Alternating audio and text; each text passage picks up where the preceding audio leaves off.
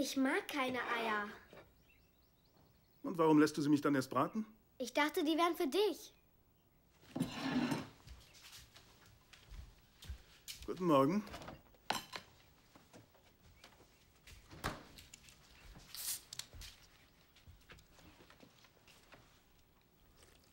Wie geht's dir? Verkatert? Warum wundert mich das nicht? Ich dachte, du wolltest die Kurve kriegen.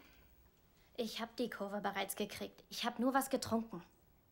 Ich mache mich zurzeit sogar richtig gut. Das scheint bloß keinen besonders zu interessieren. Meine Noten sind besser. Ich habe in dem blöden Stück gespielt, das keiner von euch gesehen hat. Weißt du überhaupt noch, wie es hieß? Habe ich mir gedacht. Was soll's? War ich eben betrunken an dem einen Abend, an dem du zufällig mal vorbeischaust. Da ist doch voll drauf geschissen. Hey, hey, nicht solche Ausdrücke vor Scotty. Stört mich nicht. Wie auch immer. Egal.